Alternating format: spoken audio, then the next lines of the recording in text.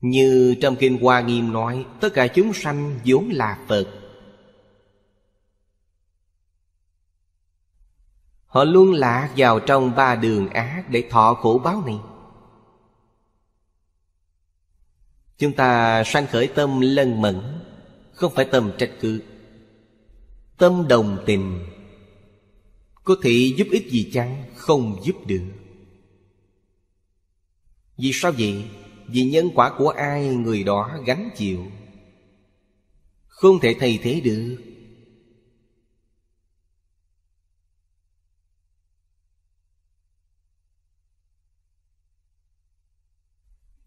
Chúng ta tạo tội nghiệp nặng như thế. Còn cứu được chăng? Đáp án khẳng định. Chỉ cần quý vị quay đầu là được cứu. Quay đầu là bờ.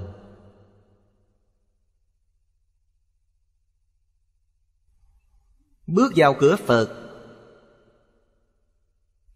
Việc đầu tiên là quy y tam bảo. Quy y tam bảo nghĩa là gì? Quy y tam bảo là quay đầu.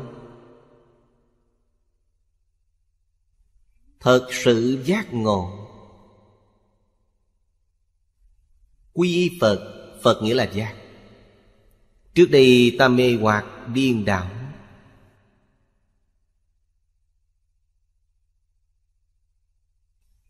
Bây giờ ta từ mê hoặc Điên đảo, Quay đầu.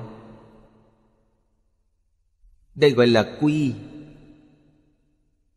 Là trở lại. Y là nương tựa. Nương tựa tự tánh giác. Nghĩa là nương tựa Phật Bồ Tát. Phật Bồ Tát là tự tánh giác.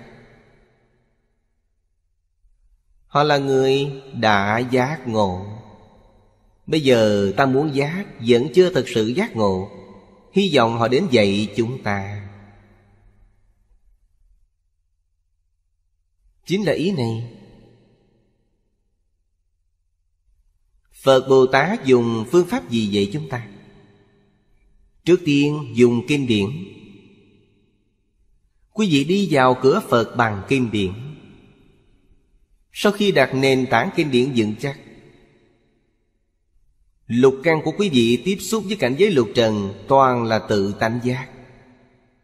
Như vậy công phu của quý vị rất đắc lực, Nghĩa là quý vị đem những lý luận, đạo đức Trí tuệ phương pháp trong kinh điển nói Đều áp dụng hết. Áp dụng trong sinh hoạt, Áp dụng trong công việc, Áp dụng trong xử sự, Đối nhân tiếp vật. Không có gì quý vị, không giác ngộ, Không có gì khác so với Phật Bồ Tát. Không còn mê hoặc, không còn điên đảo, Không còn có ác niệm, Không còn có hành vi bất thiện Quý vị thật sự đã giác ngộ. Đây là điều đầu tiên của Tam Quy Y. Điều thứ hai là Quy Y Pháp. Pháp là chánh tri, chánh kiến. Bây giờ chúng ta xem mọi thứ là nhìn sai. Chúng ta suy nghĩ vấn đề cũng nghĩ sai. Bây giờ từ những chỗ này quay đầu lại. Từ suy nghĩ tư tưởng sai lầm quay đầu, nương vào chánh tri chánh kiến. Chánh tri chánh kiến chính là kinh điển. Cho nên kinh điển gọi là Pháp Bảo. Chúng ta phải tôn trọng nó. Phải kính lễ nó. Không được khinh mạng. Vì sao vậy? Đây là tự tánh của chính mình. Hiển lộ ra Trí tuệ chân thật.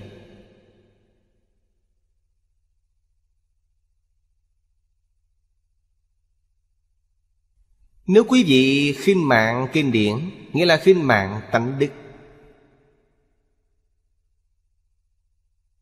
Đạo lý là ở đây.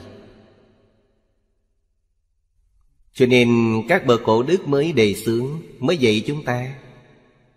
Một phần thành kính Được một phần lợi ích. Mười phần thành kính Được mười phần lợi ích. Bất luận là bản thân đọc tụng Hoặc là nghe giảng Quý vị có thể được bao nhiêu lợi ích? Không liên quan đến kinh điển. Cũng không liên quan đến người giảng giải Có liên quan đến tâm chân thành của chính mình. Quý vị có mấy phần chân thành liền được mấy phần lợi ích? Có liên quan đến điều này?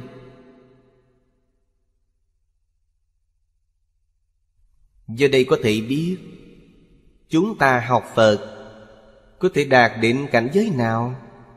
Đạt đến địa vị nào, Hoàn toàn không liên quan đến người khác. Đều ở nơi tâm chân thành của quý vị. Quý vị có mấy phần chân thành? Cũng không ở thời gian dài hay ngắn. Người này đã học năm ba năm, Chúng ta mới học mấy ngày. Điều này không sao. Có thể có người học vài ngày, nhưng hơn hẳn người học năm ba mươi năm. Năm ba mươi năm không chân thành.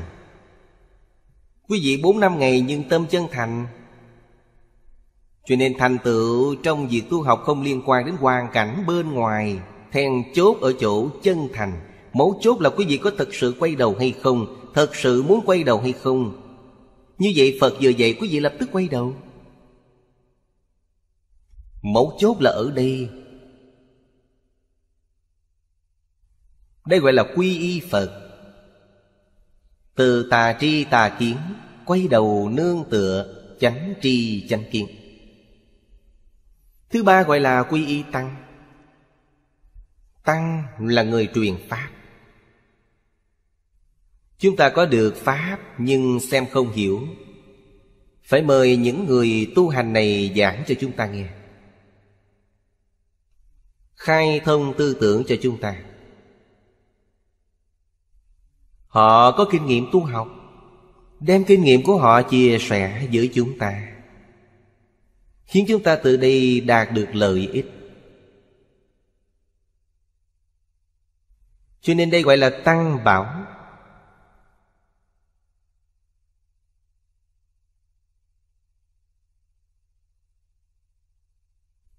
Chúng ta thật sự đã quay đầu. Từ tất cả ô nhiễm quay đầu lại. Nương vào tâm thanh tịnh. Như vậy mới có thể được lợi ích. Các bậc tổ sư cao tăng có ví dụ. Vị Phật Pháp như đầy hồ. Đầy hồ là loại nước uống ngon nhất thời Ấn Độ cổ. Đề hồ. Chúng ta hỏi người khác. Xin một ly đề hồ. Chúng ta cầm ly trà. Trong ly trà này có độc dược. Khi đổ đề hồ vào cũng biến thành thuốc độc. Là do tâm chúng ta dơ bẩn. Như thế nào mới có thể tiếp thu? Ly trà này rửa thật sạch sẽ. Quý vị dùng nó đựng ly đề hồ, Như vậy sẽ đạt được lợi ích. Ví dụ này có ý nghĩa, Cũng rất dễ hiểu. Thuốc độc của chúng ta là gì? Là tham sân si mạng nghi. Đây gọi là ngũ độc. Trong tâm quý vị có những thứ này. Phật Bồ Tát đem vô thượng Bồ Đề đến cho quý vị trong bồ đề đó có một giọt độc dược, Thì tất cả đều biến thành độc dược. Một chút độc tố cũng không được xen vào.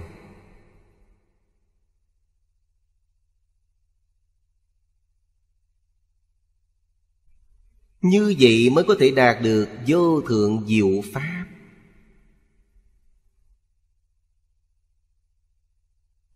Mở đầu kệ khai kim nói, Vô thượng thậm thâm di diệu pháp.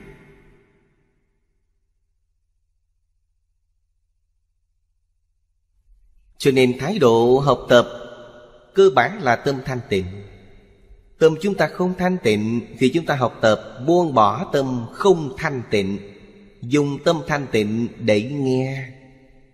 Tuy thời gian rất ngắn, Thời gian này của ta chỉ có một tiếng đồng hồ. Nửa tiếng đồng hồ tâm thanh tịnh. Ta có thể đạt được lợi ích một tiếng, nửa tiếng đồng hồ. Khi tâm không thanh tịnh chắc chắn không đạt được lợi ích.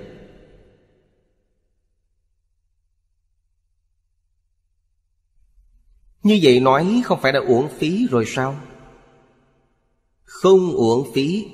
Như vậy là sao? Bất luận như thế nào Họ cũng trồng được hạt giống trong A lại gia thức. Là thật không phải giả. Nhưng hiện tại không thể lý giải, Họ không hiểu. Cho nên trước mắt họ không được lợi ích. Khi nào được lợi ích, Khi nào khôi phục tâm thanh tịnh, Thì khi đó được lợi ích.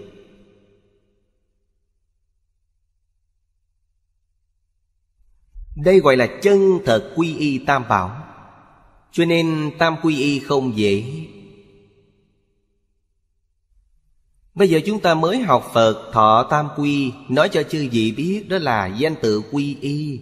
Có danh không có thực, Có hình thức không có thực chất. Đồng thời, khi chúng ta thọ tam quy, Thầy truyền thọ tam quy Cũng không nói rõ ràng.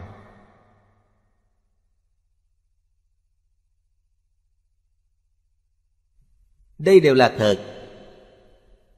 Khi đã quy y, Rốt cuộc là quy cái gì không biết. Chúng ta quy y tam bảo, Như thế nào gọi là tam bảo? Là Phật Pháp Tăng. Thế nào gọi là Phật Pháp Tăng không biết. Trong kinh nói, Thật sự quy y tam bảo. Quý vị sẽ có 36 vị thần hộ Pháp, Ngày đêm theo hộ vệ. Quý vị không gặp phải tai họa Vì có thần hộ Pháp gia hộ. Nhưng nếu không phải chân thành quy y, Thần hộ Pháp sẽ không đến. Quy y thật mới có. Thật sự trì giới mới có thần hộ Pháp. Không phải nói thọ giới là có thần hộ Pháp. Quy y tam bảo là có thần hộ Pháp. Không có chuyện này. Phải hiểu rõ ràng, minh bạch những điều này. Nó là sự thật tuyệt đối không phải mê tín.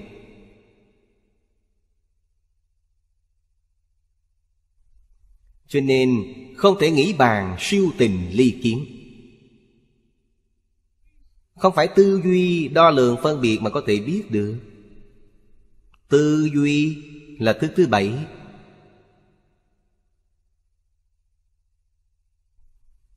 Phân biệt là thức thứ sáu. Nghĩa là tuyệt đối không phải thức thứ sáu và thức thứ bảy. Cho nên không duyên đến được. Không phải ngôn ngữ, văn tự có thể biểu đạt được. Văn tự là phù hiệu của ngôn ngữ.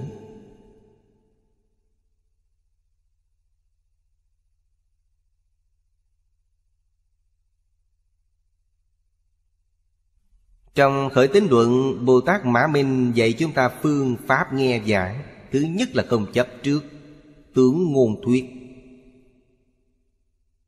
Như vậy chúng ta biết, Khi chúng ta xem kinh điển, Đừng chấp trước tướng gian tự.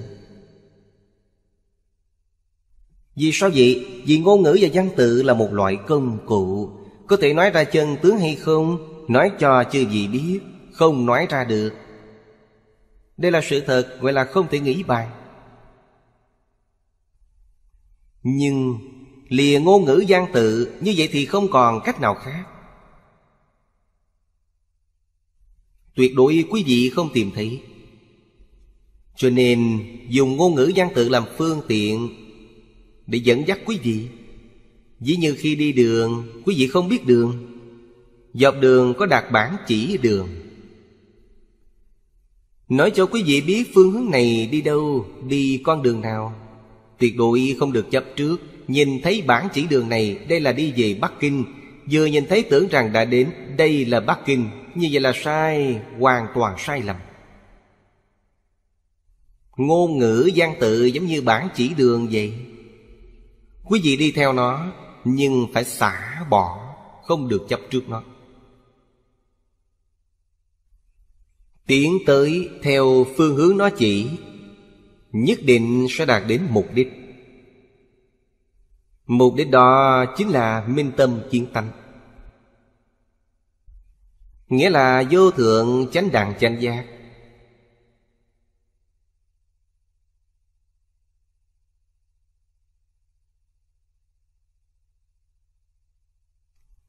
Đây là giải thích ý nghĩa của câu không thể nghĩ bàn. Tôn chỉ đọc sách của người xưa rất rõ ràng. Vì sao phải đọc sách? Đọc sách chí tại Thánh Hiền. Học Thánh Nhân, học Hiền Nhân. Học Phật chí tại làm Phật. Quý vị xem xem Huệ Năng Đại Sư Lúc gặp ngũ tổ. Lần thứ nhất gặp mặt ngũ tổ hỏi Ngài Ông đến, muốn cầu gì? Ngài trả lời rằng, Con đến muốn làm Phật. Tôn chỉ rõ ràng. Tôi đến chùa để làm gì? Tôi đến để làm Phật. Ngài phải dạy tôi làm thế nào để làm Phật. Ngài thật sự thành Phật rồi. Hòa thượng Hoàng Nhẫn đã không cô phụ Ngài. Y bác truyền cho Ngài Ngài thật sự làm Phật.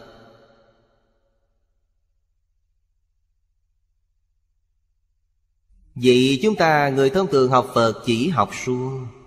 Tôi đến chùa để làm gì? Cầu thăng quan phát tài.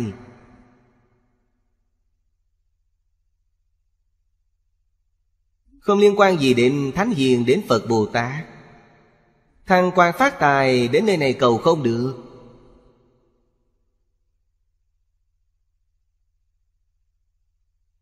Tôi nói cho quý vị biết, Phật Bồ Tát sẽ không gia hộ cho quý vị thăng quan phát tài Tìm sai chỗ rồi. Phật Thích Ca Mâu Ni một đời khất thực. Ngày ăn một bữa, tối ngủ dưới gốc cây. Quý vị cầu Ngài phát tài. Đó không phải là sai rồi sao? Cầu với Ngài phát tài, Học theo Ngài đi khất thực giống vậy.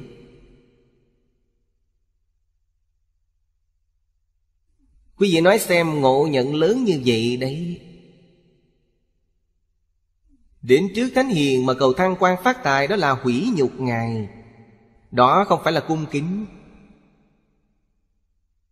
Quý vị xem Ngài là người như thế nào?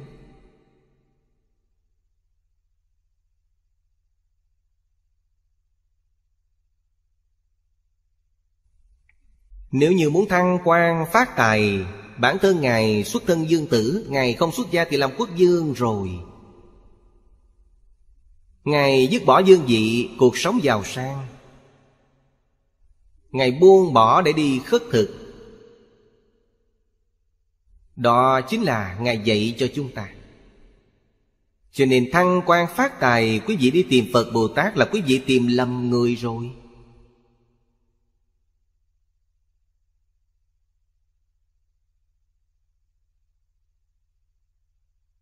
Phật là gì? Phật là thánh nhân Thánh là gì? Dùng lời hiện đại để nói, Chính là một người đã thấu rõ rồi Đối với Vũ trụ, Dạng hữu, Nhân sanh Đây rốt cuộc là việc gì vậy? Là họ đã rõ ràng tất cả, Đã thấu đáo toàn bộ rồi Như vậy người Trung Quốc gọi là thánh nhân, Cho nên thánh nhân là người đã rõ ràng phàm phu là người hồ đồ. Phật Bồ Tát là thánh hiền nhân.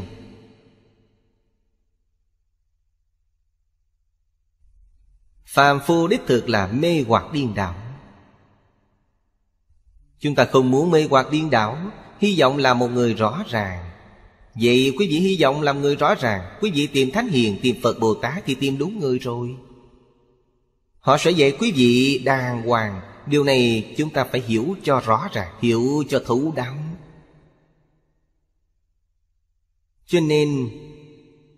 Nhập môn trước tiên phải cắm rễ.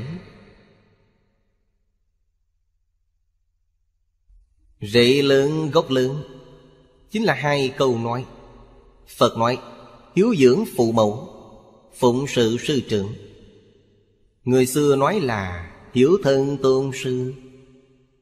Đây là đại căn bản của Thánh Hiền, Phật Bồ Tát trong thế gian xuất thế gian. Phải bắt đầu làm từ đây.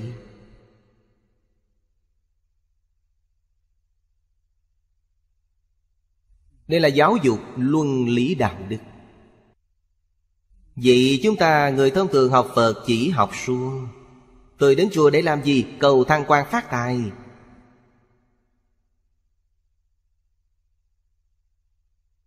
Không liên quan gì đến Thánh Hiền, đến Phật Bồ Tát. Thăng quan phát tài đến nơi này cầu không được.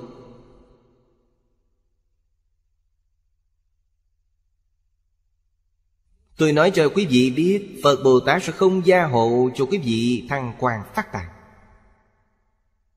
Tìm sai chỗ rồi. Phật Thích Ca Mâu Ni một đời khất thực, Ngày ăn một bữa, tối ngủ dưới gốc cây. Quý vị cầu Ngài phát tài, Đó không phải là sai rồi sao? Cầu với Ngài phát tài, Học theo Ngài đi khất thực giống vậy.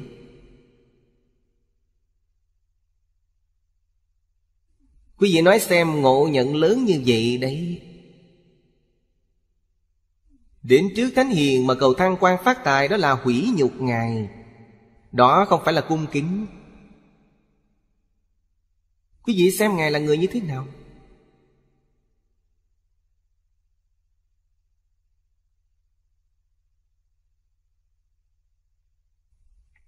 Nếu như muốn thăng quan phát tài, Bản thân Ngài xuất thân dương tử, Ngài không xuất gia thì làm quốc dương rồi. Ngài dứt bỏ dương vị, Cuộc sống giàu sang. Ngài buông bỏ để đi khất thực. Đó chính là Ngài dạy cho chúng ta.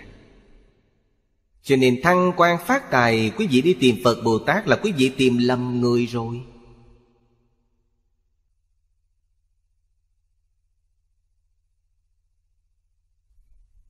Thời đại chúng ta rất đáng thương. Rất khổ. Sống trong thời động loạn. Trong lịch sử, Trên toàn thế giới, Chưa từng có hỗn loạn như thế. Chúng sanh không có phước báo. Tôi cũng không có phước báo.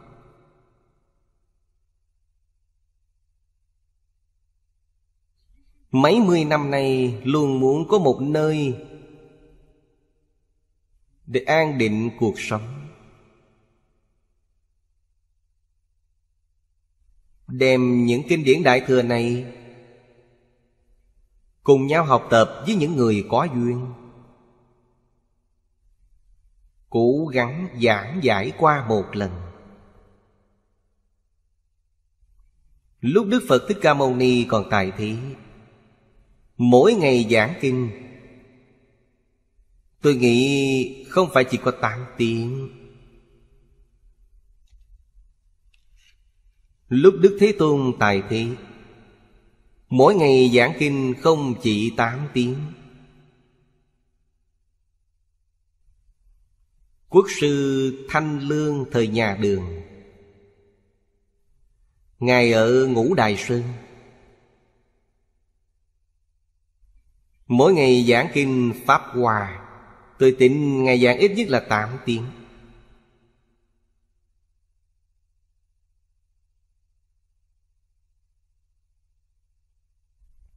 Và giảng suốt 50 năm.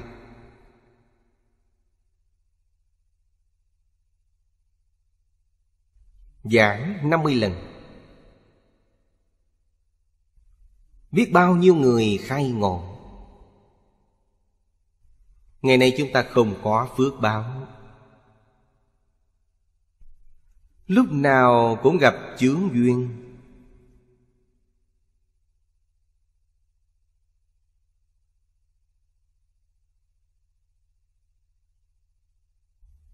Cá nhân tôi được coi là rất may mắn. Nó không trở ngại tôi.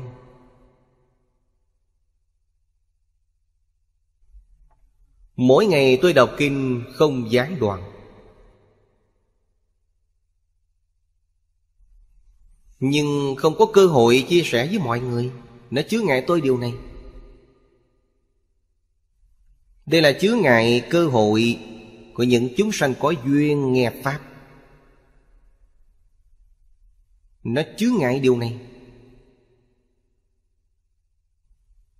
Không chứa ngại tôi Tôi không đọa lạc.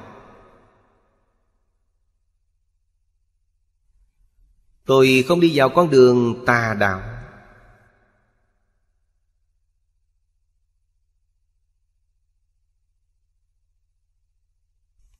Giờ đây có thể biết Một người thật sự phát tâm Tinh tấn không giải đại Ai có thể chứa ngại được họ? Không có, không thể nào. Có thể chứa ngại điều gì? Nếu quý vị có danh gian lợi dưỡng, Nó sẽ chứa ngại quý vị. Chứa ngại danh gian lợi dưỡng của quý vị. Những thứ này người tu hành đều không cần. Cần nó làm gì? Cho nên, không cách nào chứa ngại quý vị. Phá hoại, chứa ngại quý vị, Khiến lòng tin của người khác dao động. Đối với quý vị không muốn học theo quý vị. Điều này có liên quan gì đến tôi chăng? Không liên quan. Nó không chứa ngại được tôi, Nhưng chứa ngại những chúng sanh. Đoạn mất nhân duyên nghe Pháp của họ. Tương lai trên phương diện giới luật, Kết tội là kết tội với họ, Không kết tội với tôi. Tôi và quý vị không có quan hệ gì. Sau khi quý vị hiểu rõ tất cả chân tướng sự thật, Quý vị bỗng nhiên đại ngộ. Sẽ minh bạch. Khởi tâm động niệm ngôn ngữ tạo tác của quý vị. Quý vị tạo tác là gì? Tương lai nhận quả báo như thế nào? Quý vị sẽ rõ ràng, minh bạch. Tướng của chúng ta và thân tướng của phật a di đà. Vì sao không giống nhau? Phật a di đà tâm thanh tịnh, tâm chúng ta ô nhiễm. Trong tâm của Phật A-di-đà, Không những không có tham sân si mạc nghi.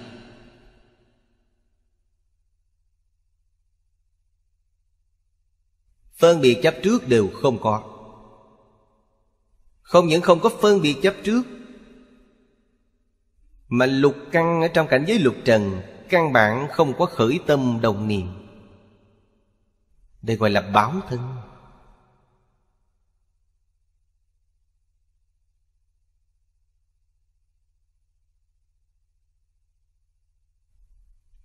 Nếu khởi tâm động niệm, Không gọi là báo thân, Mà gọi là ứng hóa thân.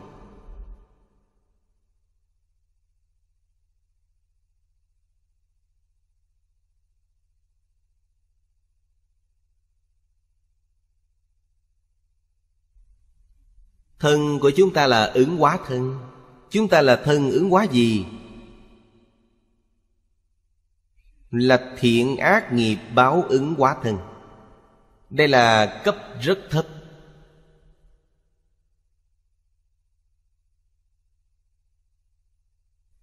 Nói một cách đơn giản, Thân của chúng ta là thiện ác nghiệp báo thân. Trong đời quá khứ tạo nghiệp thiện Hiện nay ở nhân gian hưởng phước. Có phước báo trong đời quá khứ, tạo rất nhiều nghiệp bất thiện. Vậy thì bây giờ chịu khổ ở nhân gian? Chịu khổ, chịu nạn. Là nghiệp báo. Đều có nhân. Phật giáo thường nói Dạng pháp giai không Nhân quả bất không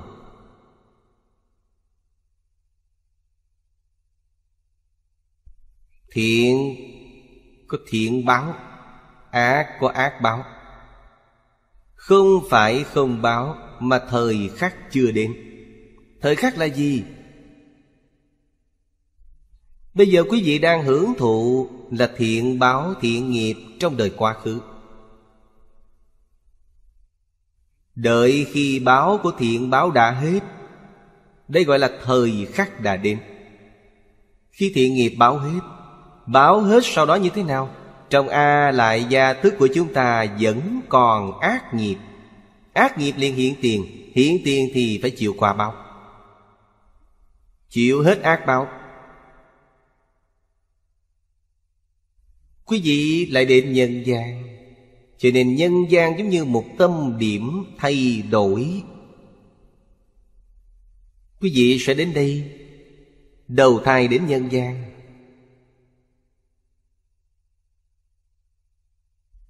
Từ đó cho thấy Ba đường thiện Là tiêu thiện nghiệp của chúng ta. Gọi là tiêu nghiệp. Ba đường ác là nơi tiêu ác nghiệp. Tiêu hết rồi mới đến nhân gian tu hành. Đến nhân gian ta lại tạo nghiệp. Nếu tiếp tục tạo ác nghiệp, Quý vị lại trở về trong ba đường ác. Nếu tạo thiện nghiệp, Quý vị sanh vào trong hai cõi trời người để hưởng phước. Cho nên khó được nhất Quý vị xem trên thế giới này có bao nhiêu người Mấy phần mấy người gặp được Phật Pháp. Nghe được Phật Pháp.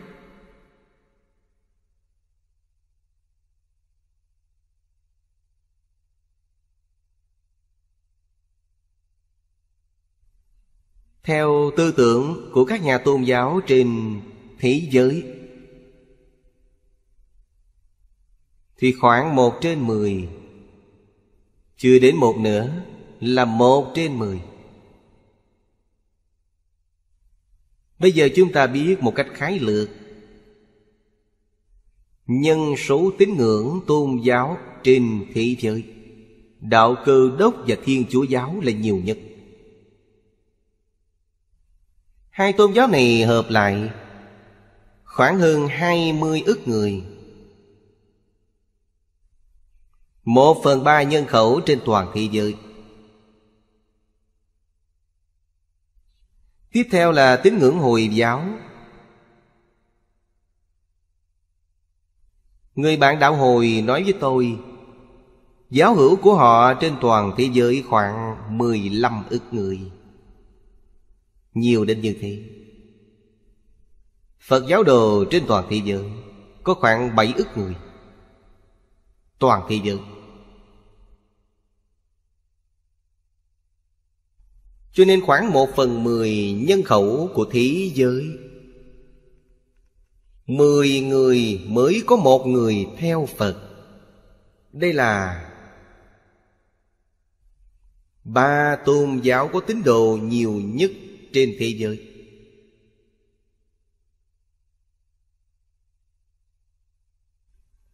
Chúng ta lại hỏi, Người tín ngưỡng Phật giáo được bảy ức người. Có mấy phần mấy thật sự gặp được chánh Pháp?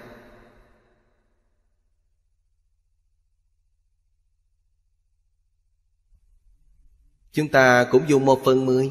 Thật vậy, Có thể chỉ có một phần mười. Sợ là chưa tới.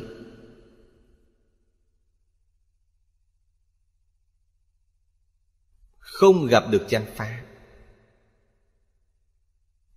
Gặp được chánh Pháp phải chăng là tinh thật? Người tinh thật, Phải chăng thật sự lý giải? Lý giải phải chăng là thật sự tu hành? Đào thải từng tầng từng tầng, Đào thải đến sau cùng. Quả thật chưa chắc tìm được một phần mười ngàn người. Ngày càng ít.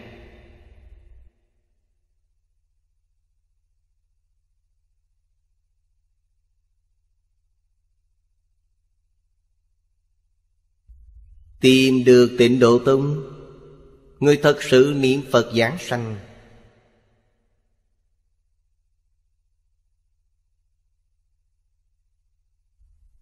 Có được 10.000 người chăng?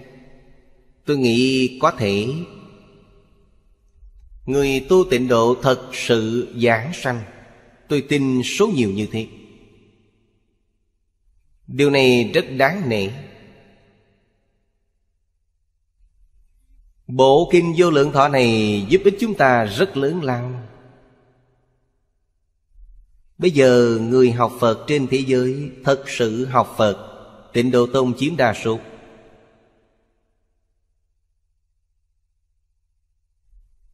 Tịnh Độ Tông quan trọng nhất là Phải đoạn nghi sanh tính Dùng phương pháp gì để đoạn nghi? Dùng kinh điển.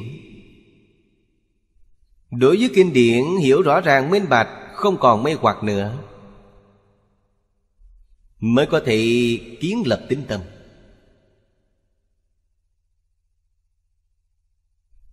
Đời này chúng ta đã xác định mục tiêu và phương hướng.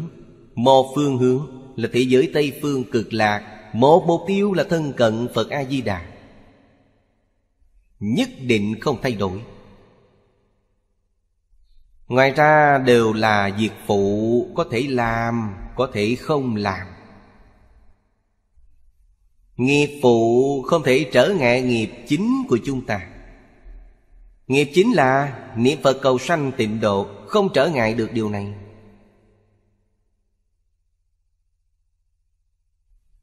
Đời này có thể giảng sanh thế giới cực lạc, Chúng ta đại công thành tựu. Phật A-di-đà, Rất gian khổ. Chúng ta rất cảm ơn Ngài. Thời gian năm kiếp tạo thành thế giới cực lạc. Chúng ta thì sao? Chúng ta chỉ cần dùng một chút công phu Ba năm đến năm năm sẽ thành tựu. Khi đến thế giới cực lạ, Chúng ta bình đẳng với Ngài. Hay nói cách khác, Ngài dùng năm kiếp, Chúng ta dùng năm năm liền bình đẳng với Ngài. Hoàn toàn là sự thật.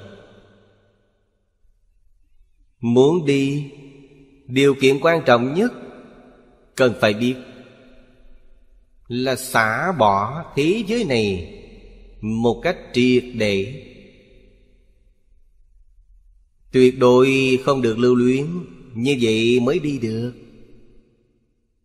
Không có chút lưu luyến nào, Ta mới có thể xem hiểu, Mới có thể nghe hiểu kinh này.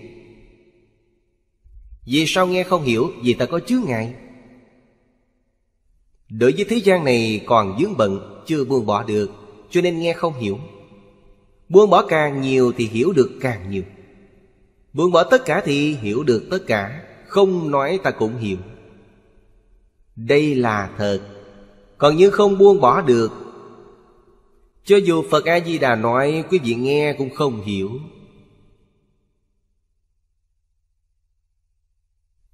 Chúng ta phải hiểu rõ ràng, Minh bạch những đạo lý này.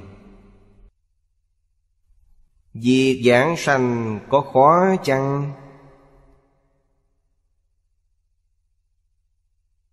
Bây giờ chúng ta biết, Không khó chút nào.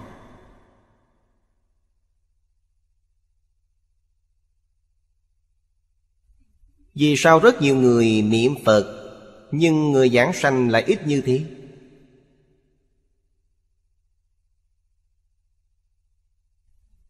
Trước đây, tôi học kinh giáo với thầy Lý. Thầy thường nói Liên xã Đài Trung, Đài Loan là do thầy sáng lập. Liên hữu mấy mươi dạng người. Thầy rất cảm khái nói, Liên hữu trong liên xã đài trung của chúng ta. Trong một dạng người Thật sự giảng sanh chỉ được năm ba người mà thôi Đây là do nguyên nhân gì? Vì không thể Buông bỏ tình chấp đối với thế gian này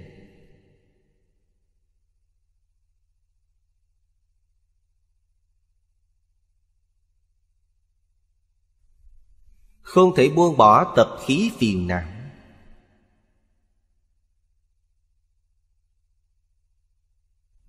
Còn có sự tham luyến.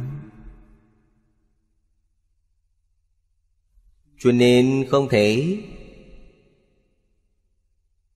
Đều sanh tịnh độ. Như Đại sư Thiện Đạo nói Dạng người tu, dạng người đi.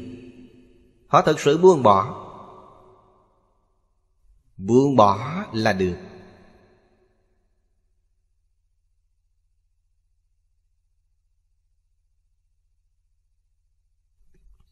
Tức tương ưng với đại nguyện của Phật Di Đà.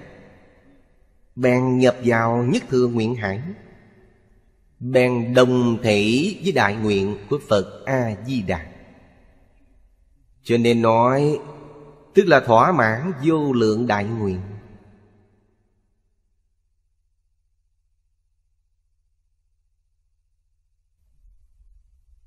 Giảng sanh thế giới Tây Phương cực lạc. Chúng ta muốn hỏi Vì sao không buông được?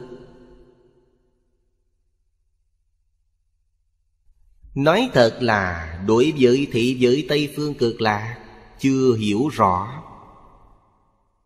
Nhận thức chưa đủ.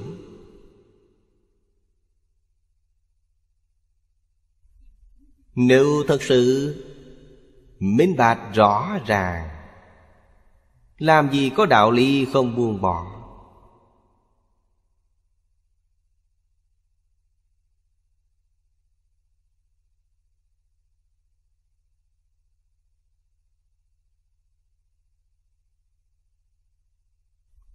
Tôi học Phật.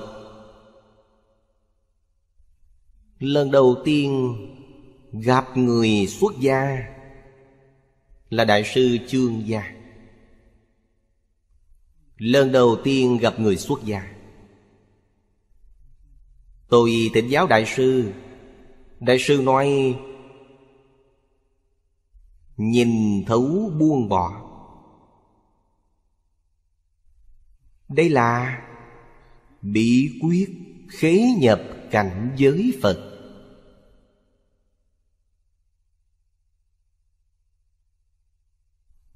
Ngày đầu tiên đại sư nói với tôi lúc đó còn trẻ, chưa từng tiếp xúc phật pháp. Nghe câu này hình như hiểu, hình như không.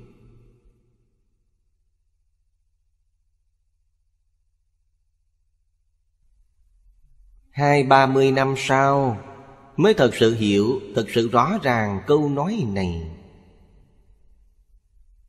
Đại sư không gạt tôi.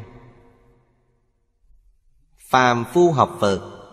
Từ sơ phát tâm đến như lai địa, Chính là nhìn thấu buông bỏ.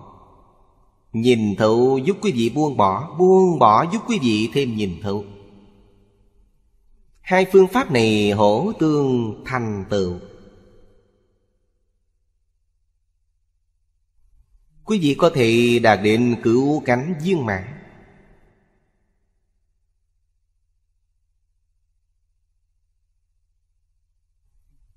Pháp môn này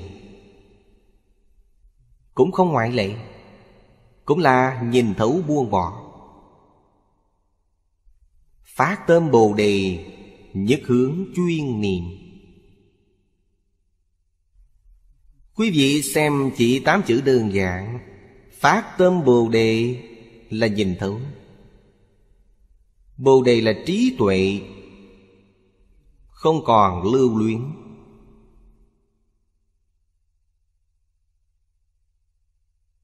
Không còn chấp trước thế gian này.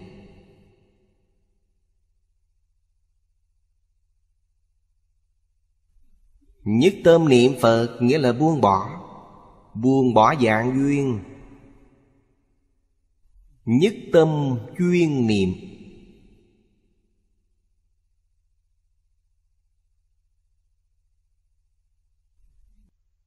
Sau khi hiểu rõ thì chọn lấy. Thế giới này, những gì là thiện nhân, thiện quả, Thì chọn lấy nó. Nhưng bất thiện quả bất thiện, Chúng ta liền dứt bỏ. Nên nói là, Bỏ sở đoạn của người, Chọn sở trường của người. Trong sở trường sở đoạn có nhân quả, Nhân tốt chúng ta nên chọn. Nhân không tốt chúng ta phải xả bỏ.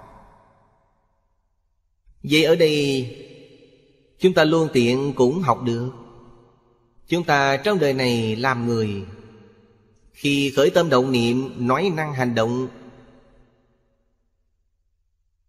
Phải hiểu biết. Trong lời giáo huấn của cổ thánh tiên hiền, Những gì là thiện nhân thiện quả ta nên chọn, Những gì là bất thiện ta phải buông bỏ hết. Chúng ta trong đời này Nâng cao cảnh giới cho đời sau. Điều này nhất định phải biết. Có người không phải một đời là hết rồi. Nếu như một đời là xong, Chúng ta học những thứ này để làm gì? Chết rồi là mọi việc xong hết. Vậy quý vị không phải đã học cũng như không học rồi sao? Nói với quý vị rằng, Con người có đời sau. Có đời trước và đời sau. Quý vị nếu như không học tập cho đàng hoàng, Chết rồi thì nguy lắm. Đây là lời chân thật. Chết rồi quý vị đi về đâu? Ngạ quỷ địa ngục súc sanh, Những nơi đó có thể đi sao? Nơi đó rất dễ dàng đi, Nhưng ra khỏi đó thì khó lắm. Cho nên giáo dục nhân quả quan trọng. Giáo dục luân lý đạo đức. Có lúc gặp được gọi là Cao danh hậu lợi. Chức vị rất cao, Tài lực rất dày. Có lúc lại bù đắp không nổi, Biết rõ rồi mà cố làm. Không ngăn được. Người thật sự hiểu nhân quả Có thể ngăn lại được. Quý vị nghĩ xem, Hiện tại tôi có được rồi, Những thứ không nên có tôi đã có rồi. Tôi đời sau đọa địa ngục thì làm sao? Tôi ở thế gian này hưởng phú quý Có thể hưởng được mấy năm? Tương lai tôi đến địa ngục chịu tội Phải chịu mấy vạn năm? Quý vị nghĩ đến đây, được không bằng mất? Quý vị sẽ không dám đụng đến nó nữa. Giáo dục nhân quả quan trọng. Tối hôm qua. Tôi đọc được một bài văn của ông Tăng Quốc Phiên. Là thư ông ấy viết cho bạn, Trong đó có một đoạn. Nói đến tình trạng xã hội đương thời.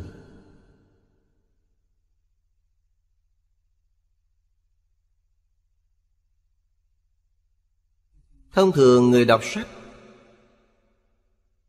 Đều có xu hướng đến danh lợi Tranh danh trục lợi. Ông Tăng Quốc Phiên rất đau lòng. Bạn của ông y là chánh nhân quân tử. Quân tử Không tại gì Quân tử phải chịu. Những đau khổ Nghèo cùng sơ sát Không có cơ hội Phục vụ cho đất nước nhân dân. Cho nên tiểu nhân làm đạo. Những tiểu nhân đó họ có phước báo Làm quan lớn, phát tài lớn Rồi thỏa mãn còn rất dài.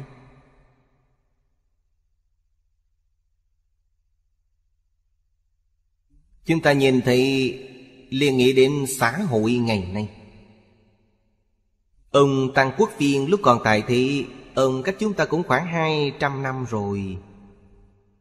Hai trăm năm tích lũy lại hiện tượng này, Nhân bệnh này.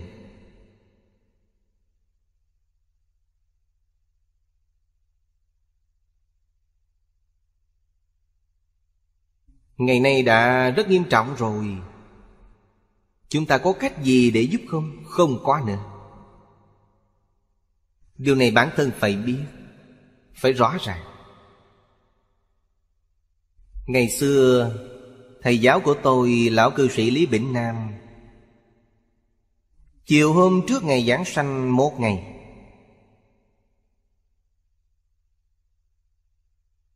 Nói với những học trò bên cạnh, Nói với mọi người rằng Thế giới này loạn rồi. Phật Bồ Tát, Thần tiên hạ phàm Cũng cứu họ không được. Quý vị mọi người, Duy chỉ có một con đường sống, Chính là niệm Phật cầu sanh tịnh độ. Sáng sớm hôm sau, ông đã đi rồi. Thọ 97 tuổi. Lời này là thật.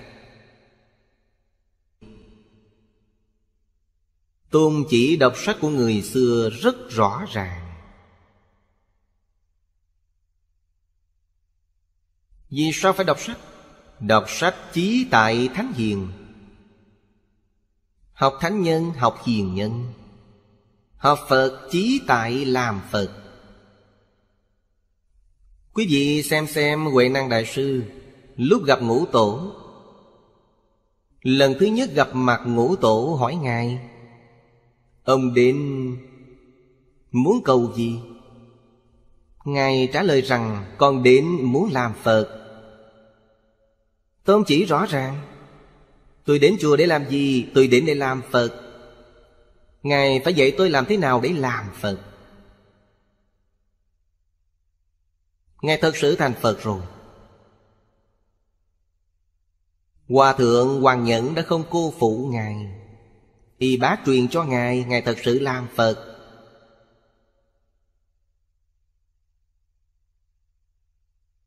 Vậy chúng ta, người thông thường học Phật chỉ học suông. Tôi đến chùa để làm gì? Cầu thăng quan phát tài.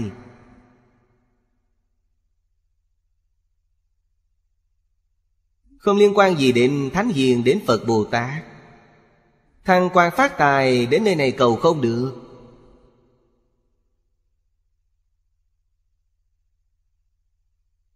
Tôi nói cho quý vị biết, Phật Bồ Tát sẽ không gia hộ cho quý vị thăng quan phát tài. Tìm sai chỗ rồi. Phật Thích Ca Mâu Ni một đời khất thực, Ngày ăn một bữa, tối ngủ dưới gốc cây. Quý vị cầu Ngài phát tài, Đó không phải là sai rồi sao? Cầu với Ngài phát tài, Học theo Ngài đi khất thực giống vậy.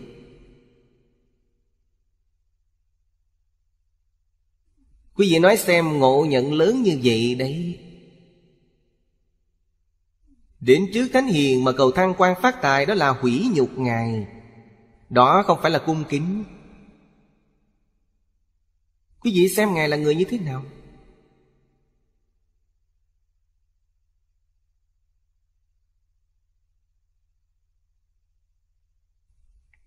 Nếu như muốn thăng quan phát tài, Bản thân Ngài xuất thân dương tử, Ngài không xuất gia thì làm quốc dương rồi. Ngài dứt bỏ dương vị, Cuộc sống giàu sang.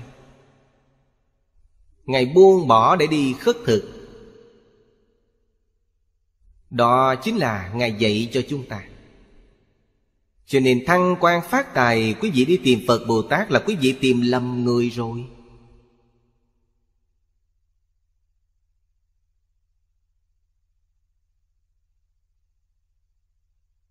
Phật là gì? Phật là thánh nhân Thánh là gì? Dùng lời hiện đại để nói, Chính là một người đã thấu rõ rồi Đối với Vũ trụ, Dạng hữu, Nhân sanh Đây rốt cuộc là việc gì vậy? Là họ đã rõ ràng tất cả, Đã thấu đáo toàn bộ rồi Như vậy người Trung Quốc gọi là thánh nhân, Cho nên thánh nhân là người đã rõ ràng phàm phu là người hồ đồ. Phật Bồ Tát là thánh hiền nhân.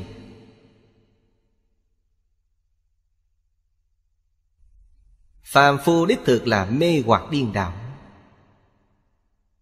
Chúng ta không muốn mê hoặc điên đảo Hy vọng là một người rõ ràng. Vậy quý vị hy vọng làm người rõ ràng Quý vị tìm Thánh Hiền, tìm Phật Bồ Tát Thì tìm đúng người rồi. Họ sẽ dạy quý vị đàng hoàng Điều này chúng ta phải hiểu cho rõ ràng. Hiểu cho thấu đáo. Cho nên Nhập môn trước tiên phải cắm rễ. Rễ lớn gốc lớn Chính là hai câu nói. Phật nói Hiếu dưỡng phụ mẫu Phụng sự sư trưởng. Người xưa nói là Hiểu thân tôn sư đây là đại căn bản của Thánh Hiền, Phật Bồ Tát trong thế gian xuất thế gian. Phải bắt đầu làm từ đây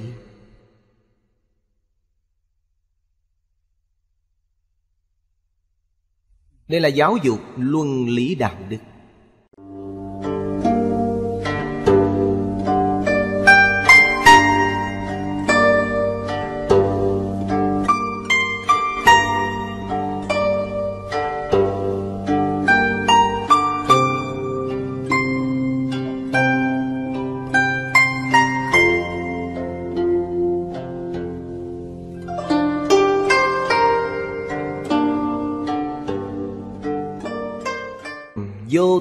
Đề đến cho quý vị.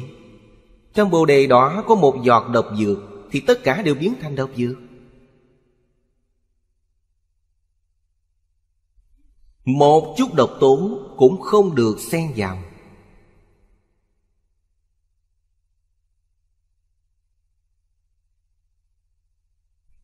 Như vậy mới có thể đạt được vô thượng diệu pháp.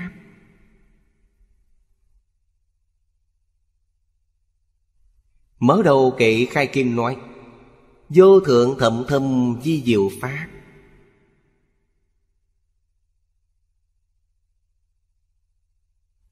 Cho nên thái độ học tập Cơ bản là tâm thanh tịnh. Tâm chúng ta không thanh tịnh Thì chúng ta học tập, buông bỏ tâm không thanh tịnh, Dùng tâm thanh tịnh để nghe. Tuy thời gian rất ngắn, Thời gian này của ta chỉ có một tiếng đồng hồ. Nửa tiếng đồng hồ, tâm thanh tịnh. Ta có thể đạt được lợi ích một tiếng Nửa tiếng đồng hồ. Khi tâm không thanh tịnh, Chắc chắn không đạt được lợi ích.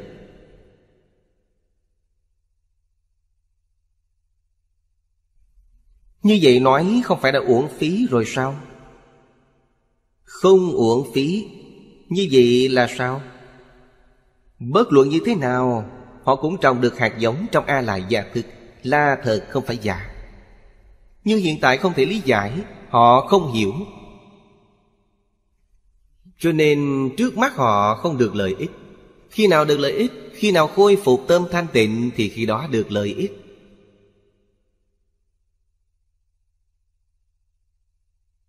Đây gọi là chân thật quy y tam bảo. Cho nên tam quy y không dễ. Bây giờ chúng ta mới học Phật, thọ tam quy. Nói cho chư vị biết, đó là danh tự quy y. Có danh không có thực, Có hình thức không có thực chất. Đồng thời, khi chúng ta thọ tam quy, Thầy truyền thọ tam quy Cũng không nói rõ ràng.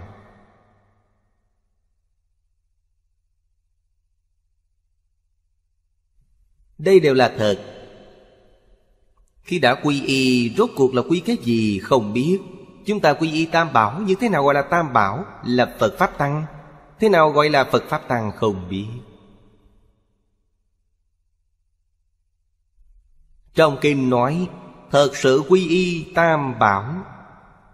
Quý vị sẽ có 36 vị thần hộ Pháp. Ngày đêm theo hộ vậy. Quý vị không gặp phải tai họa Vì có thần hộ Pháp gia hộ. Nhưng nếu không phải chân thành quy y Thần hộ Pháp sẽ không đến. Quy y thật mới có. Thật sự trì giới mới có thần hộ Pháp. Không phải nói thọ giới là có thần hộ Pháp. Quy y tam bảo là có thần hộ Pháp. Không có chuyện này. Phải hiểu rõ ràng, minh bạch những điều này. Nó là sự thật, tuyệt đối không phải mê tín.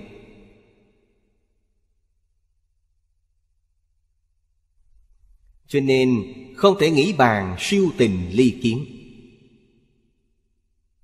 Không phải tư duy đo lường phân biệt mà có thể biết được. Tư duy là thứ thứ bảy.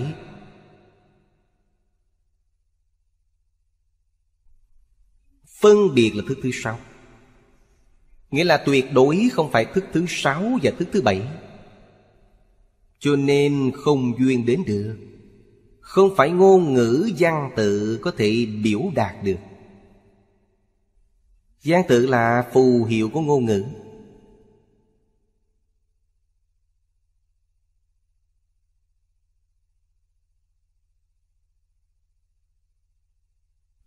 Trong khởi tín luận Bồ Tát Mã Minh dạy chúng ta phương pháp nghe giải.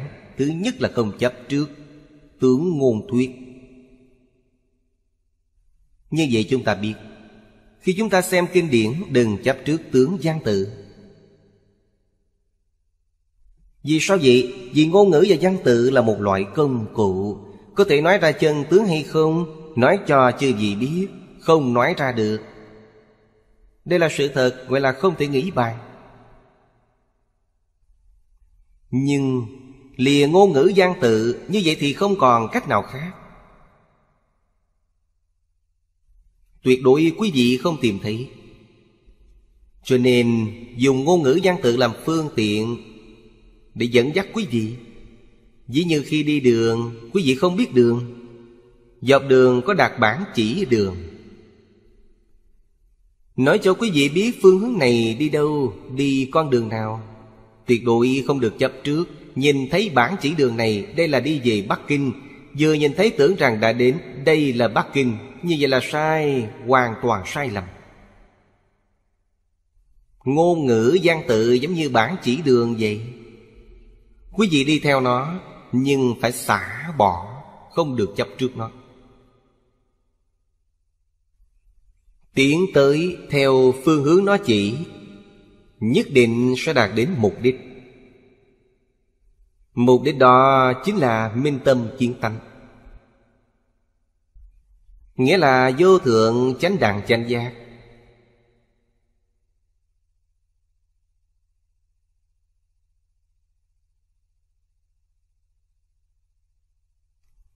Đây là giải thích ý nghĩa của câu không thể nghĩ bàn. Tôn chỉ đọc sách của người xưa rất rõ ràng. Vì sao phải đọc sách? Đọc sách chí tại Thánh Hiền. Học Thánh Nhân, học Hiền Nhân. Học Phật chí tại làm Phật. Quý vị xem xem Huệ Năng Đại Sư Lúc gặp ngũ tổ. Lần thứ nhất gặp mặt ngũ tổ hỏi Ngài Ông đến muốn cầu gì? Ngài trả lời rằng, con đến muốn làm Phật. Tôn chỉ rõ ràng. Tôi đến chùa để làm gì? Tôi đến để làm Phật. Ngài phải dạy tôi làm thế nào để làm Phật. Ngài thật sự thành Phật rồi. Hòa thượng Hoàng Nhẫn đã không cô phụ Ngài. Y bá truyền cho Ngài Ngài thật sự làm Phật.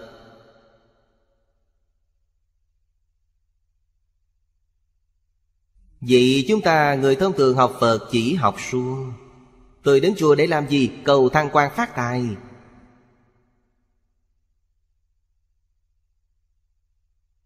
Không liên quan gì đến Thánh Hiền, đến Phật Bồ Tát.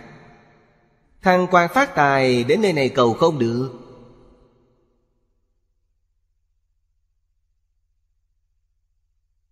Tôi nói cho quý vị biết, Phật Bồ Tát sẽ không gia hộ cho quý vị thăng quan phát tài Tìm sai chỗ rồi. Phật Thích Ca Mâu Ni một đời khất thực. Ngày ăn một bữa, tối ngủ dưới gốc cây. Quý vị cầu Ngài phát tài. Đó không phải là sai rồi sao? Cầu với Ngài phát tài, Học theo Ngài đi khất thực giống vậy.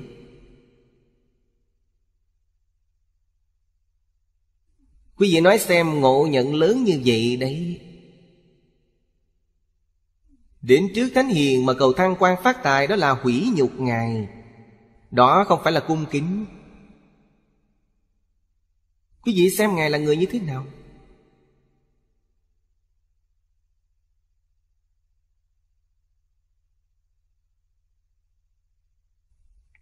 Nếu như muốn thăng quan phát tài Bản thân Ngài xuất thân dương tử, Ngài không xuất gia thì làm quốc dương rồi. Ngài dứt bỏ dương vị, Cuộc sống giàu sang. Ngài buông bỏ để đi khất thực. Đó chính là Ngài dạy cho chúng ta.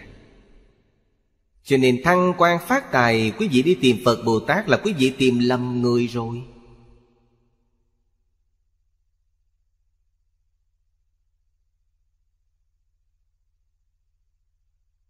Phật là gì? Phật là thánh nhân Thánh là gì? Dùng lời hiện đại để nói, Chính là một người đã thấu rõ rồi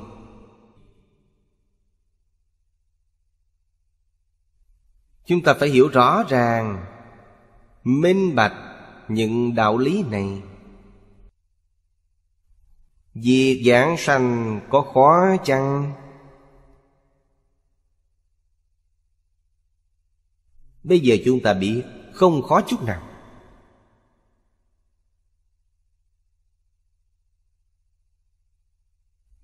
Vì sao rất nhiều người niệm Phật, Nhưng người giảng sanh lại ít như thế?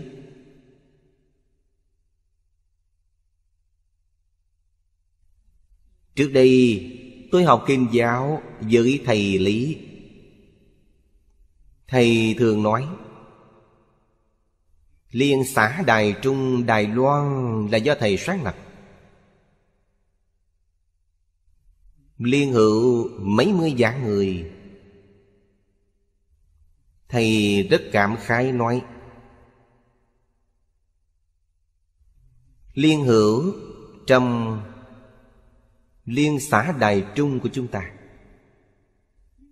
Trong một dạng người Thật sự giảng sanh chỉ được năm ba người mà thôi Đây là do nguyên nhân gì? Vì không thể Buông bỏ tình chấp đối với thế gian này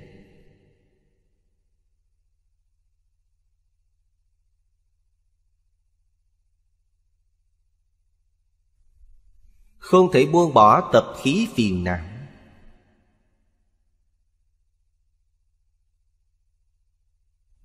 Còn có sự tham luyến. Cho nên không thể Đều sanh tịnh độ. Như Đại sư Thiện Đạo nói Dạng người tu, dạng người đi. Họ thật sự buông bỏ. Buông bỏ là được.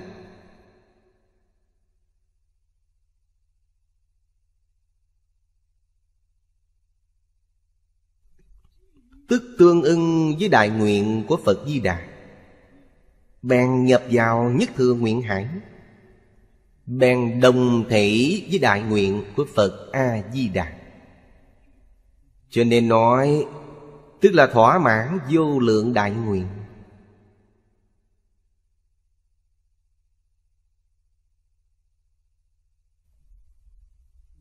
Giảng sanh thế giới Tây phương cực lạc. Chúng ta muốn hỏi, Vì sao không buông được? Nói thật là, đối với thị giới Tây Phương cực lạc, Chưa hiểu rõ. Nhận thức chưa đủ.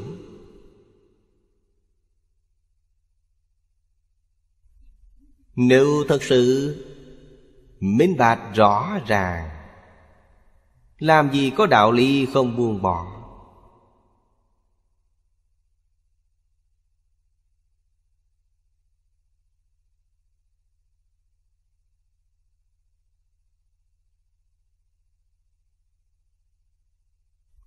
Tôi học Phật. Lần đầu tiên gặp người xuất gia Là Đại sư Chương Gia. Lần đầu tiên gặp người xuất gia. Tôi thỉnh giáo đại sư. Đại sư nói, Nhìn thấu buông bỏ. Đây là Bí quyết khế nhập cảnh giới Phật.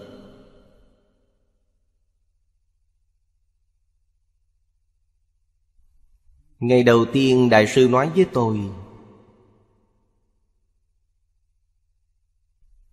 Lúc đó còn trẻ, Chưa từng tiếp xúc Phật Pháp. Nghe câu này hình như hiểu, hình như không.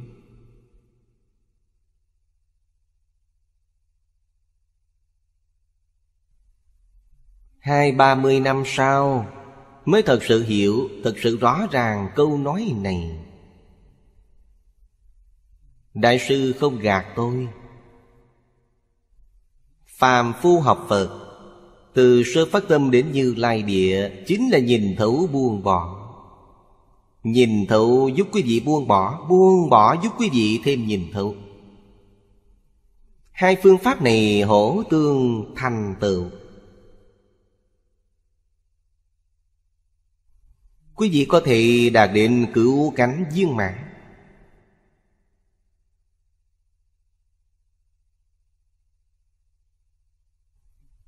Pháp môn này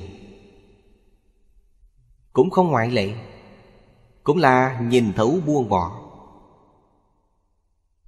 Phát tâm Bồ Đề, Nhất hướng chuyên niệm.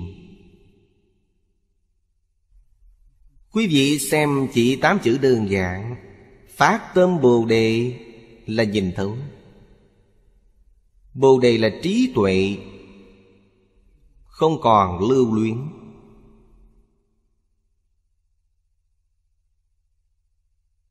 Không còn chấp trước thế gian này.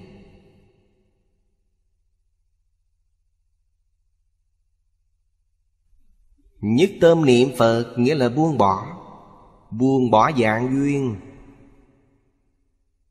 Nhất tâm chuyên niệm.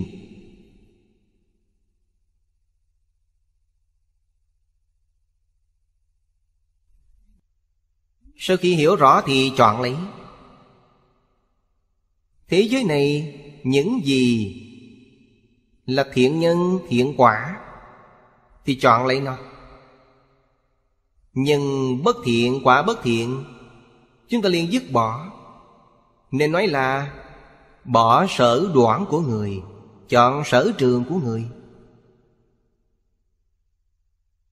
Trong sở trường sở đoạn của nhân quả, Nhân tốt chúng ta nên chọn. Nhân không tốt chúng ta phải xả bỏ. Vậy ở đây, Chúng ta luôn tiện cũng học được. Chúng ta trong đời này làm người, Khi khởi tâm động niệm, Nói năng hành động, Phải hiểu biết. Trong lời giáo huấn của cổ thánh tiên hiền, Những gì là thiện nhân thiện quả ta nên chọn, Những gì là bất thiện ta phải buông bỏ hết. Chúng ta trong đời này Nâng cao cảnh giới cho đời sau. Điều này nhất định phải biết. Con người không phải một đời là hết rồi. Nếu như một đời là xong, Chúng ta học những thứ này để làm gì? Chết rồi là mọi việc xong hết. Vậy quý vị không phải đã học cũng như không học rồi sao? Nói với quý vị rằng, Con người có đời sau có đời trước và đời sau. Quý vị nếu như không học tập cho đàng hoàng, Chết rồi thì nguy lắm. Đây là lời chân thật. Chết rồi quý vị đi về đâu? Ngạ quỷ địa ngục súc sanh, Những nơi đó có thể đi sao Nơi đó rất dễ dàng đi, Nhưng ra khỏi đó thì khó lắm. Cho nên giáo dục nhân quả quan trọng. Giáo dục luân lý đạo đức. Có lúc gặp được gọi là Cao danh hậu lợi. Chức vị rất cao, Tài lực rất dày. Có lúc lại bù đắp không nổi, Biết rõ rồi mà cố làm. Không ngăn được. Người thật sự hiểu nhân quả có thể ngăn lại được. Quý vị nghĩ xem, Hiện tại tôi có được rồi, Những thứ không nên có tôi đã có rồi. Tôi đời sau đọa địa ngục thì làm sao? Tôi ở thế gian này hưởng phú quý Có thể hưởng được mấy năm? Tương lai tôi đến địa ngục chịu tội Phải chịu mấy vạn năm? Quý vị nghĩ đến đây Được không bằng mất. Quý vị sẽ không dám đụng đến nó nữa. Giáo dục nhân quả quan trọng. Tối hôm qua. Tôi đọc được Đối với Vũ trụ Dạng hữu Nhân sanh. Đây rốt cuộc là việc gì vậy? Là họ đã rõ ràng tất cả, Đã thấu đáo toàn bộ rồi. Như vậy người Trung Quốc gọi là thánh nhân, Cho nên thánh nhân là người đã rõ ràng, Phàm phu là người hồ đồ. Phật Bồ Tát là thánh hiền nhân.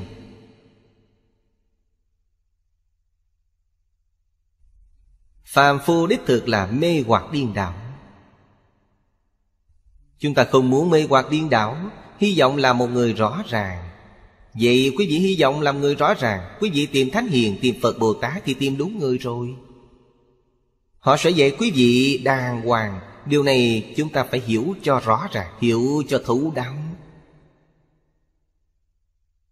Cho nên, Nhập môn trước tiên phải cấm rễ. Rễ lớn, gốc lớn, Chính là hai câu nói. Phật nói, Hiếu dưỡng phụ mẫu, Phụng sự sư trưởng. Người xưa nói là Hiểu thân tôn sư. Đây là đại căn bản của Thánh Hiền Phật Bồ Tát trong thế gian xuất thế gian. Phải bắt đầu làm từ đây.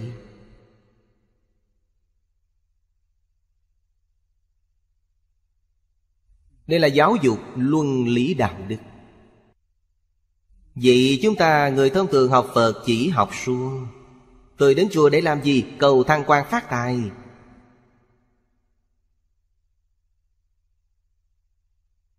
Không liên quan gì đến Thánh Hiền, đến Phật Bồ Tát.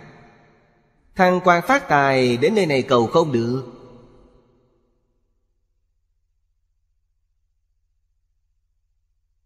Tôi nói cho quý vị biết, Phật Bồ Tát sẽ không gia hộ cho quý vị thăng quan phát tài. Tìm sai chỗ rồi. Phật Thích Ca Mâu Ni một đời khất thực. Ngày ăn một bữa, tối ngủ dưới gốc cây. Quý vị cầu Ngài phát tài, Đó không phải là sai rồi sao? Cầu với Ngài phát tài, Học theo Ngài đi khất thực giống vậy.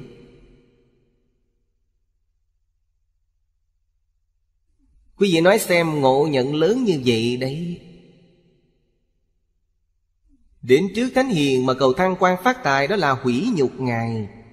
Đó không phải là cung kính. Quý vị xem Ngài là người như thế nào?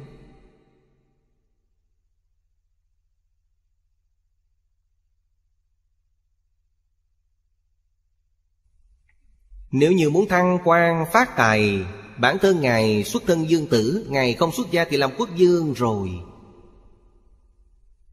Ngài dứt bỏ dương vị, Cuộc sống giàu sang. Ngài buông bỏ để đi khất thực. Đó chính là Ngài dạy cho chúng ta. Cho nên thăng quan phát tài, Quý vị đi tìm Phật Bồ Tát Là quý vị tìm lầm người rồi.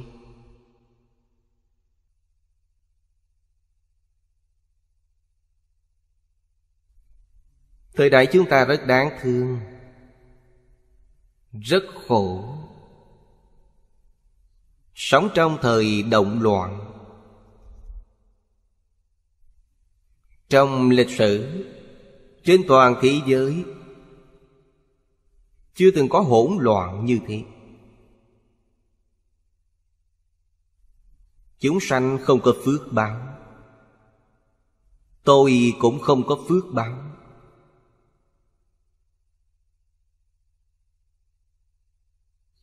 Mấy mươi năm nay luôn muốn có một nơi Để an định cuộc sống. Đem những kinh điển đại thừa này Cùng nhau học tập với những người có duyên. Cố gắng giảng giải qua một lần. Lúc Đức Phật Thích Ca Mâu Ni còn tại thế Mỗi ngày giảng kinh. Tôi nghĩ không phải chỉ có tám tiếng.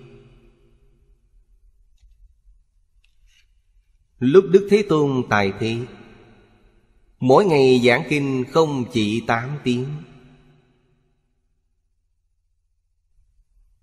Quốc sư Thanh Lương thời nhà đường, Ngài ở Ngũ Đài Sơn. Mỗi ngày giảng kinh Pháp Hòa Tôi tính ngày giảng ít nhất là 8 tiếng.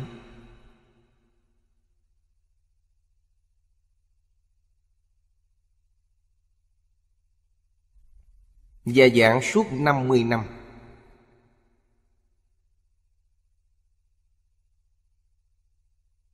Giảng 50 lần. Biết bao nhiêu người khai ngộ? Ngày nay chúng ta không có phước báo. Lúc nào cũng gặp chướng duyên.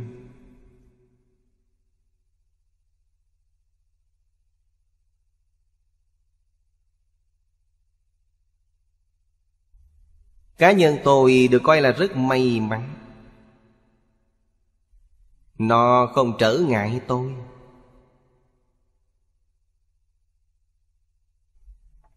Mỗi ngày tôi đọc kinh không gián đoạn. Nhưng không có cơ hội chia sẻ với mọi người, Nó chứa ngại tôi điều này. Đây là chứa ngại cơ hội Của những chúng sanh có duyên nghe Pháp. Nó chứa ngại điều này. Không chứa ngại tôi Tôi không đọa lạc. Tôi không đi vào con đường tà đạo.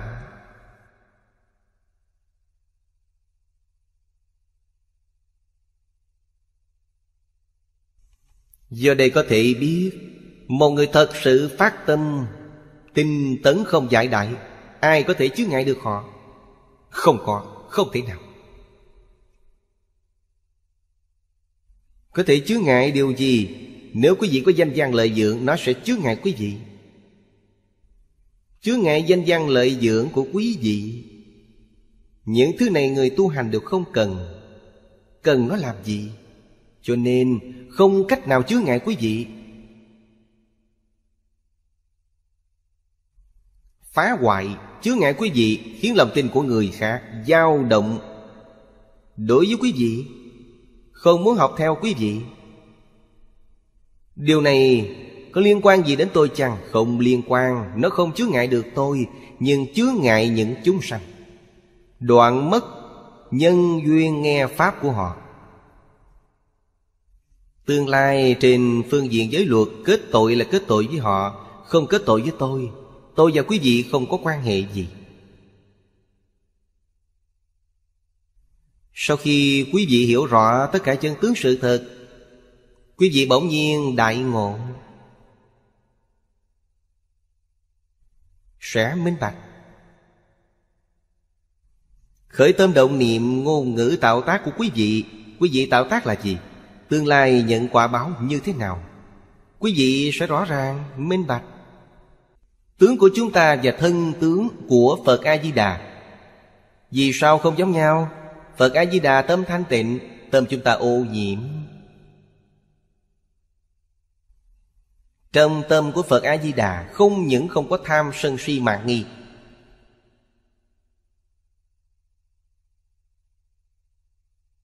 Phân biệt chấp trước đều không có. Không những không có phân biệt chấp trước, Mà lục căn ở trong cảnh giới lục trần, Căn bản không có khởi tâm đồng niệm đây gọi là báo thân.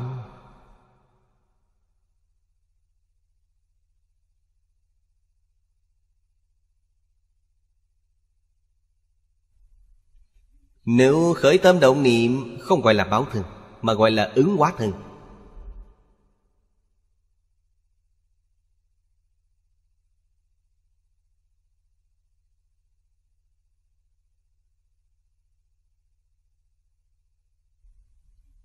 Thân của chúng ta là ứng hóa thân. Chúng ta là thân ứng hóa gì? Là thiện ác nghiệp báo ứng hóa thân. Đây là cấp rất thấp.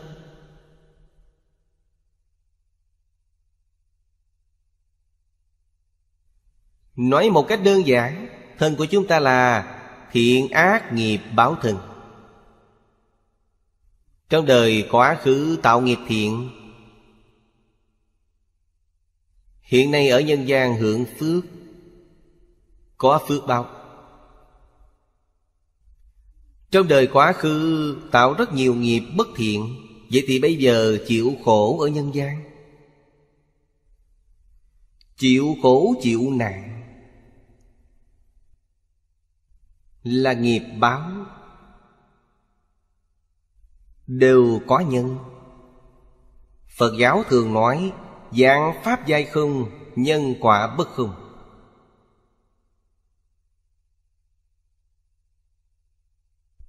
Thiện, có thiện báo, Ác có ác báo. Không phải không báo, Mà thời khắc chưa đến. Thời khắc là gì?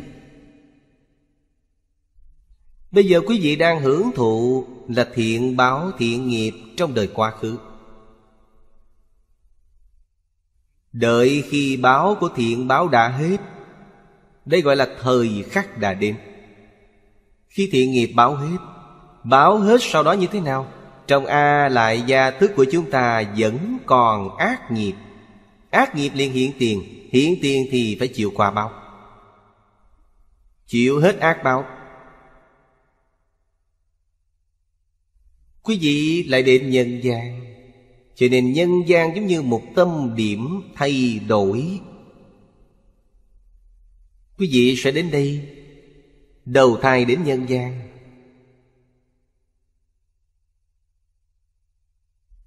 Từ đó cho thấy Ba đường thiện Là tiêu thiện nghiệp của chúng ta.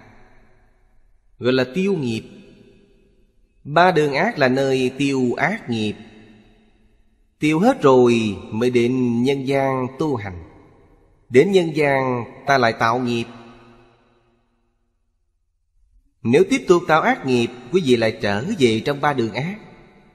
Nếu tạo thiện nghiệp, Quý vị sanh vào trong hai cõi trời người để hưởng phước. Cho nên khó được nhất Quý vị xem trên thế giới này có bao nhiêu người Mấy phần mấy người gặp được Phật Pháp. Nghe được Phật Pháp.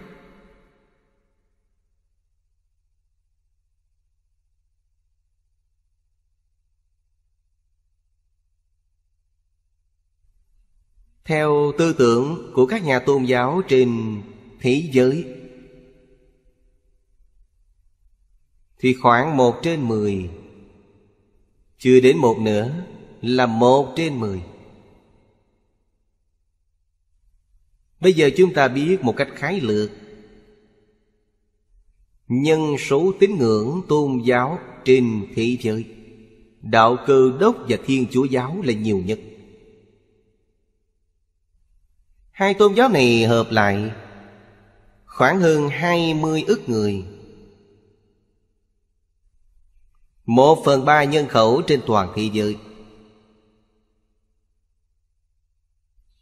Tiếp theo là tín ngưỡng Hồi giáo. Người bạn đạo hồi nói với tôi, Giáo hữu của họ trên toàn thế giới khoảng 15 ức người. Nhiều đến như thế. Phật giáo đồ trên toàn thế giới Có khoảng 7 ức người. Toàn thế giới. Cho nên khoảng một phần mười nhân khẩu của thế giới, Mười người mới có một người theo Phật. Đây là Ba tôn giáo có tín đồ nhiều nhất trên thế giới.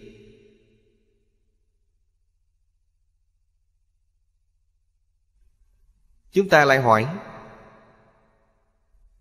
Người tín ngưỡng Phật giáo được bảy ức người.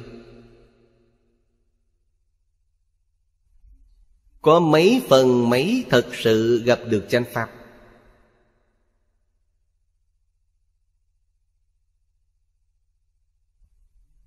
Chúng ta cũng dùng một phần mười.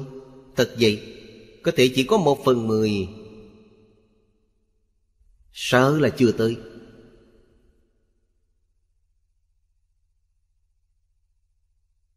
Không gặp được chánh pháp. Gặp được chánh pháp phải chăng là tinh thật Người tinh thật Phải chăng thật sự lý giải? Lý giải phải chăng là thật sự tu hành? Đào thải từng tầng từng tầng, Đào thải đến sau cùng. Quả thật chưa chắc tìm được một phần mười ngàn người. Ngày càng ít.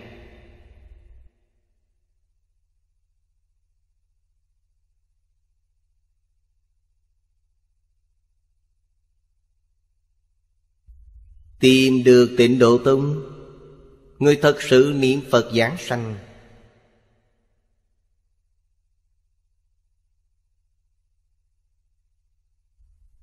Có được mười ngàn người chăng? Tôi nghĩ có thể. Người tu tịnh độ thật sự giảng sanh. Tôi tin số nhiều như thế.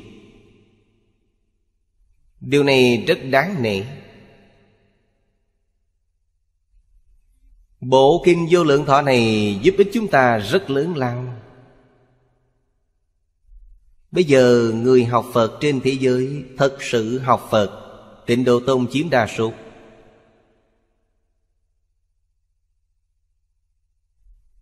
Tịnh Độ Tông quan trọng nhất là Phải đoạn nghi sanh tính.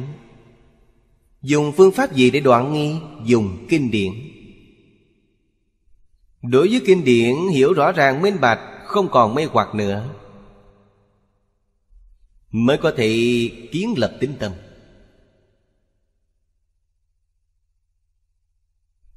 Đời này chúng ta đã xác định mục tiêu và phương hướng. Một phương hướng là thế giới Tây Phương cực lạc. Một mục tiêu là thân cận Phật A-di-đà. Nhất định không thay đổi. Ngoài ra đều là việc phụ Có thể làm, có thể không làm. Nghiệp phụ không thể trở ngại nghiệp chính của chúng ta. Nghiệp chính là niệm Phật cầu sanh tịnh độ, Không trở ngại được điều này.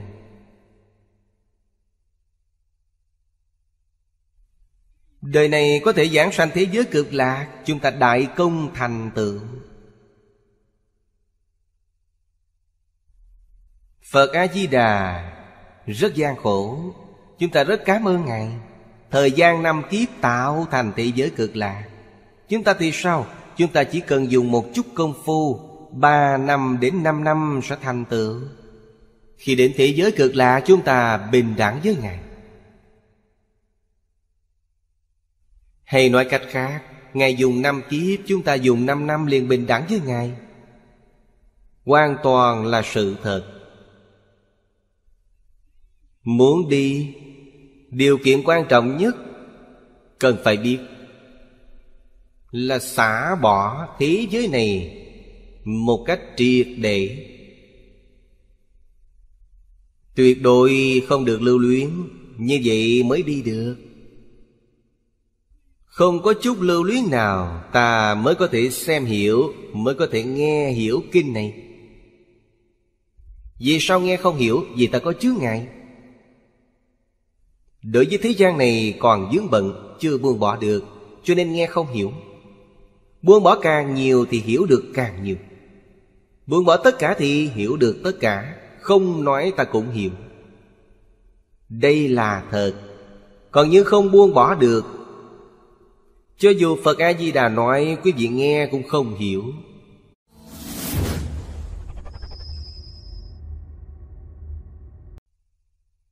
Như trong Kinh Hoa Nghiêm nói, Tất cả chúng sanh vốn là Phật. Họ luôn lạc vào trong ba đường ác Để thọ khổ báo này. Chúng ta sanh khởi tâm lân mẫn, Không phải tâm trách cứ. Tâm đồng tình, Có thể giúp ích gì chăng? Không giúp được. Vì sao vậy? Vì nhân quả của ai người đó gánh chịu? Không thể thay thế được.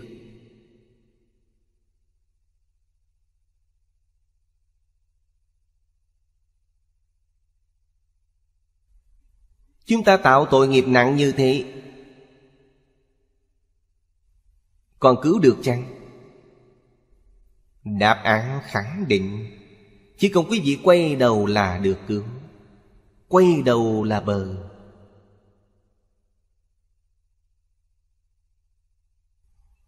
Bước vào cửa Phật. Việc đầu tiên là quy y tam bảo. Quy y tam bảo nghĩa là gì? Quy y tam bảo là quay đầu. Thật sự giác ngộ. Quy y Phật Phật nghĩa là giác. Trước đây ta mê hoặc điên đảo.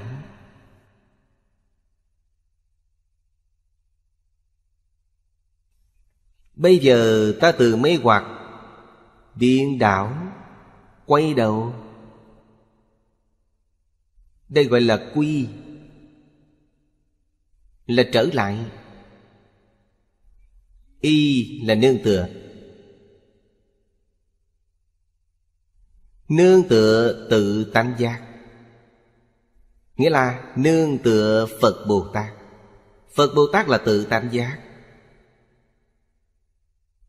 Họ là người đã giác ngộ. Bây giờ ta muốn giác Vẫn chưa thực sự giác ngộ. Hy vọng họ đến dạy chúng ta. Chính là ý này. Phật Bồ Tát dùng phương pháp gì dạy chúng ta? Trước tiên, dùng kinh điển. Quý vị đi vào cửa Phật bằng kinh điển. Sau khi đặt nền tảng kinh điển dựng chắc Lục căn của quý vị tiếp xúc với cảnh giới lục trần Toàn là tự tánh giác. Như vậy công phu của quý vị rất đắc lực, Nghĩa là quý vị đem những lý luận đạo đức. Trí tuệ phương pháp trong kinh điển nói Đều áp dụng hết. Áp dụng trong sinh hoạt, Áp dụng trong công việc, Áp dụng trong xử sự đối nhân tiếp vật. Không có gì quý vị, không giác ngộ, Không có gì khác so với Phật Bồ Tát. Không còn mê hoặc, không còn điên đảo Không còn có ác niệm, Không còn có hành vi bất thiện. Quý vị thật sự đã giác ngộ. Đây là điều đầu tiên của Tam Quy Y. Điều thứ hai là Quy Y Pháp. Pháp là chánh tri, chánh kiến. Bây giờ chúng ta xem mọi thứ là nhìn sai. Chúng ta suy nghĩ vấn đề cũng nghĩ sai. Bây giờ từ những chỗ này quay đầu lại. Từ suy nghĩ tư tưởng sai lầm quay đầu, nương vào chánh tri, chánh kiến. Chánh tri, chánh kiến chính là kinh điển. Cho nên kinh điển gọi là Pháp Bảo. Chúng ta phải tôn trọng nó. Phải kính lễ nó. Không được khinh mạng. Vì sao vậy? Đây là tự tánh của chính mình. Hiển lộ ra Trí tuệ chân thật.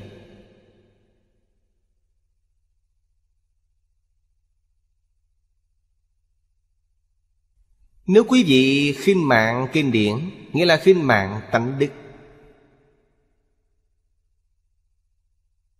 Đạo lý là ở đây. Cho nên các bậc cổ đức mới đề xướng, Mới dạy chúng ta. Một phần thành kính Được một phần lợi ích. Mười phần thành kính, Được mười phần lợi ích. Bất luận là bản thân đọc tụng Hoặc là nghe giảng Quý vị có thể được bao nhiêu lợi ích? Không liên quan đến kinh điển, Cũng không liên quan đến người giảng giải. Có liên quan đến tâm chân thành của chính mình. Quý vị có mấy phần chân thành liền được mấy phần lợi ích? Có liên quan đến điều này?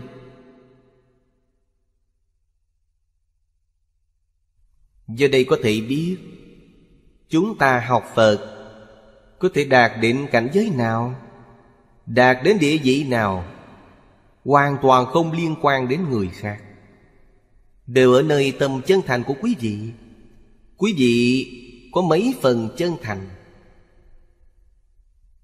Cũng không ở thời gian dài hay ngắn. Người này đã học năm ba năm, Chúng ta mới học mấy ngày. Điều này không sao. Có thể có người học vài ngày Nhưng hơn hẳn người học năm ba mươi năm. Năm ba mươi năm không chân thành. Quý vị bốn năm ngày nhưng tâm chân thành. Cho nên thành tựu trong việc tu học không liên quan đến hoàn cảnh bên ngoài, Then chốt ở chỗ chân thành. Mấu chốt là quý vị có thật sự quay đầu hay không, Thật sự muốn quay đầu hay không? Như vậy Phật vừa dạy quý vị lập tức quay đầu. Mấu chốt là ở đây. Đây gọi là quy y Phật. Từ tà tri tà kiến, Quay đầu nương tựa, Chánh tri chánh kiến. Thứ ba gọi là quy y tăng. Tăng là người truyền Pháp. Chúng ta có được Pháp nhưng xem không hiểu. Phải mời những người tu hành này giảng cho chúng ta nghe. Khai thông tư tưởng cho chúng ta. Họ có kinh nghiệm tu học. Đem kinh nghiệm của họ chia sẻ với chúng ta. Khiến chúng ta từ đây đạt được lợi ích. Cho nên đây gọi là tăng bảo.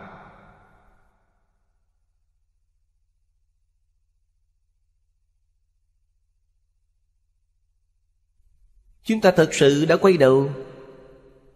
Từ tất cả ô nhiễm quay đầu lại. Nương vào tâm thanh tịnh. Như vậy mới có thể được lợi ích. Các bậc tổ sư cao tăng có ví dụ. Vị Phật Pháp như đề hồ. Đề hồ là loại nước uống ngon nhất thời Ấn Độ cổ. Đề hồ. Chúng ta hỏi người khác. Xin một ly đề hồ. Chúng ta cầm ly trà. Trong ly trà này có độc dược. Khi đổ đề hồ vào cũng biến thành thuốc độc. Là do tâm chúng ta dơ bẩn. Như thế nào mới có thể tiếp thu? Ly trà này rửa thật sạch sẽ. Quý vị dùng nó đựng ly đề hồ, Như vậy sẽ đạt được lợi ích. Ví dụ này có ý nghĩa, Cũng rất dễ hiểu. Thuốc độc của chúng ta là gì? Là tham sân si mạng nghi. Đây gọi là ngũ độc. Trong tâm quý vị có những thứ này Phật Bồ Tát đem